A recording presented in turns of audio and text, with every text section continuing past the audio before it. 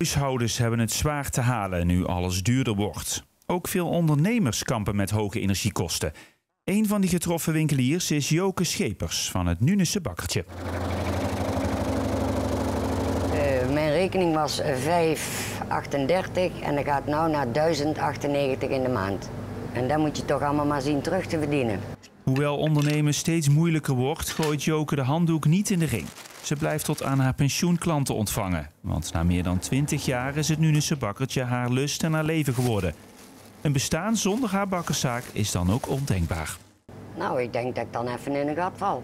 Ik sta nu iedere, maand, uh, iedere week van maandag tot zaterdagavond te werken. En dan in één keer zou je niks meer hebben. Om de energiekosten toch enigszins de baas te blijven, heeft Joke maatregelen genomen. Voor een worstenbroodje warm maken ga ik die grote oven niet meer aanzetten. Dus ik heb een klein oventje gekocht.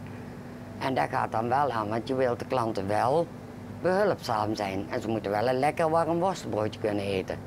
Ook heeft ze met pijn in het hart de prijzen moeten verhogen. Want als er iemand maakpijn heeft van prijsverhogingen, iedere keer dan ben ik het zelf. En iedere keer moet je dat weer uitleggen. En de ene klant reageert heel gelaten. En de andere klant zegt van... En dan denk je van, ja, maar ik, ik doe dat niet.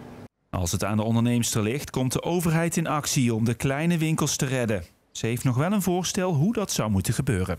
Dat die, die, die, die prijzen teruggedraaid worden. Maar een klein winkeltje, een gemoedelijk klein winkeltje... waar, waar je nog met een klant gaat staan te huilen of gaat staan te lachen...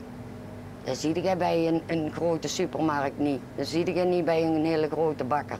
Uit onderzoek van de Kamer van Koophandel blijkt dat drie op de tien ondernemers in Nederland veel last hebben van de gestegen prijzen.